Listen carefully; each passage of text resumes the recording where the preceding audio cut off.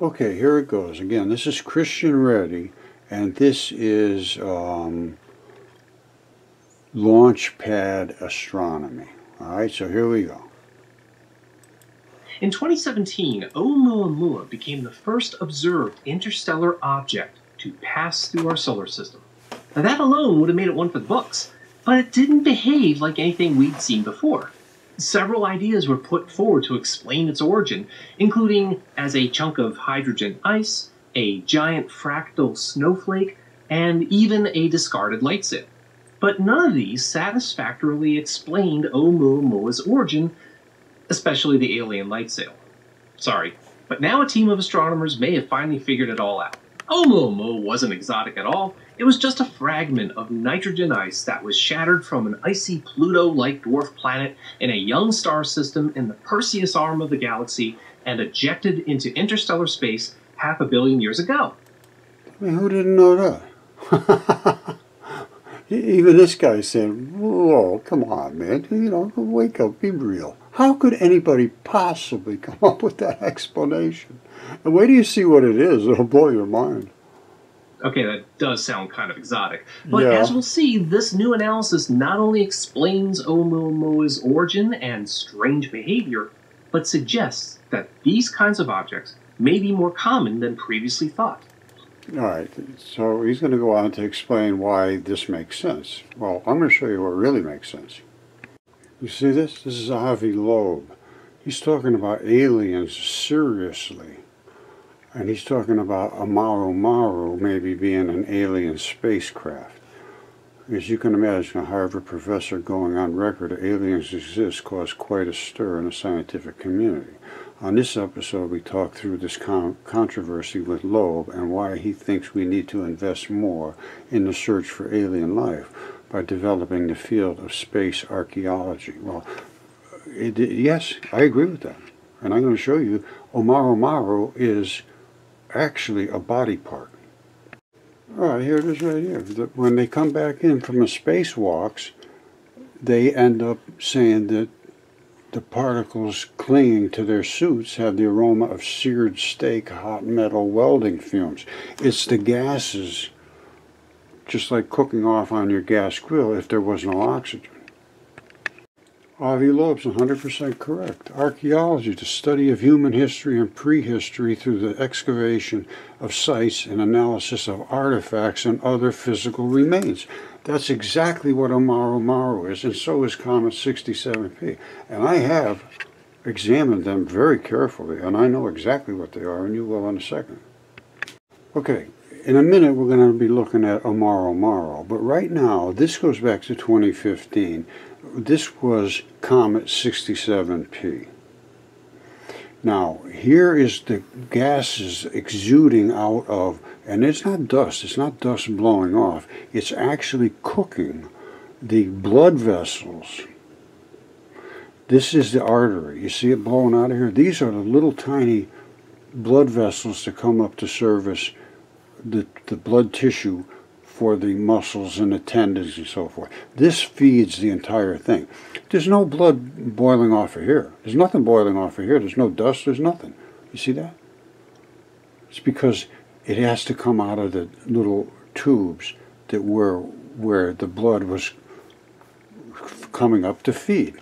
And I'll show you this as an anatomical structure, and then we're going to look at Omaru Maru. All right, he's up at Harvard or somewhere around there. They should be able to find somebody that knows what a tendon enthesis looks like, and that is it right there. And that is a little bundle, I believe, of muscle.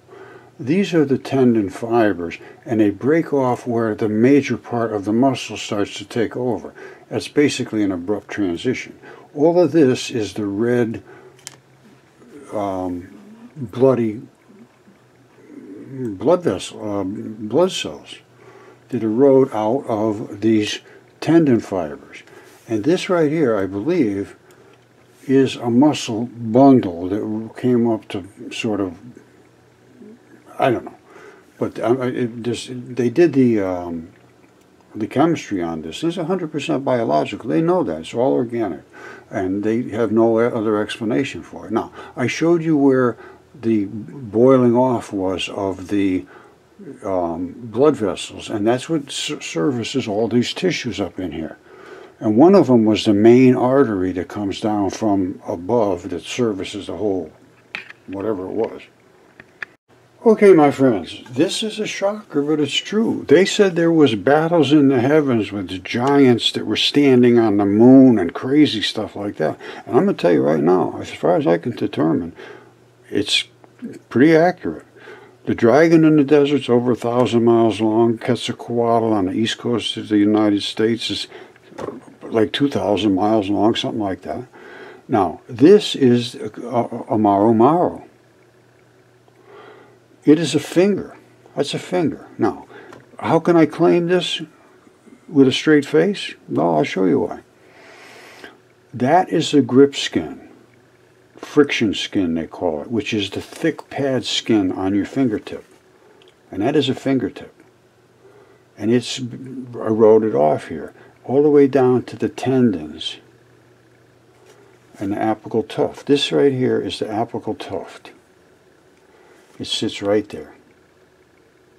And all of these little tendon balls have these little straps that run off them. And they run down your finger so your finger can do all these little fancy little things.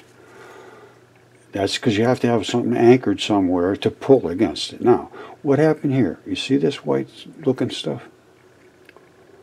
The white looking stuff comes down and it sort of balls up here with all these little fiber looking straps. Those are little tendon straps.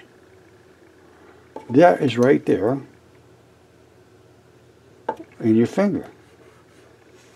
And that's what gives you the ability to do that. They pull against these tendons. That's a tendon strap.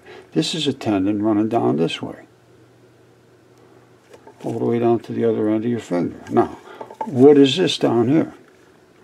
This actually would roll right over the back of your finger, right there, right there. That would roll, and that bone is pulled basically right out.